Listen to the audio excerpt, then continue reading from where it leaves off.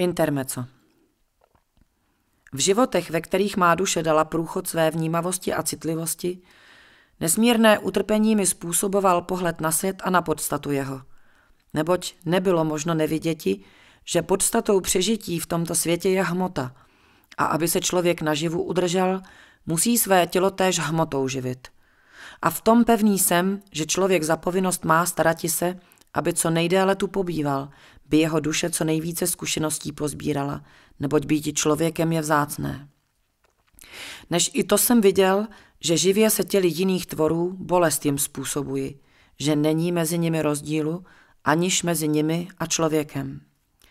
Nepozřel by člověk člověka, aniž druha věrného psa, avšak jiného svého pomocníka koně, na jatka posílá a masem jeho si živí, jako by rozdílu v tom bylo – Takovou odplatu za jeho službu člověk mu chystá. V některých životech myslel jsem, že lze se tomu vzepříti a maso pojídati jsem odmítal. Po několik životů pouze rostlinami živil jsem svou schránku, až spichl jsem, mysle si, že spasení jsem došel a každý, kdo jinak jedná nežli já, hoden je opovržení.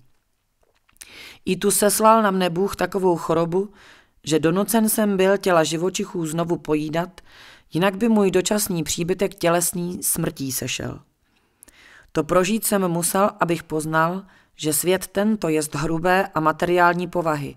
Kdo silný jest, ten hoduje. A nelze se z toho vymaniti tím, že jen rostlinami živiti se budu. Neboť není rozdílu mezi rostlinstvem a zvířenou. V obou pulzuje stejný život a mezi pojídáním rostlin a živočichů rozdíl je pramalý.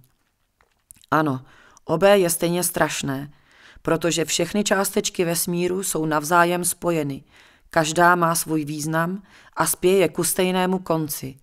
A spravedlnost je v tom toliko taková, že vše jednou skončí, živé i neživé, a i náš vesmír pohltí sám sebe, aby na jeho troskách Bůh nové světy vystavěl, které, jak doufám, lepší než tyto budou.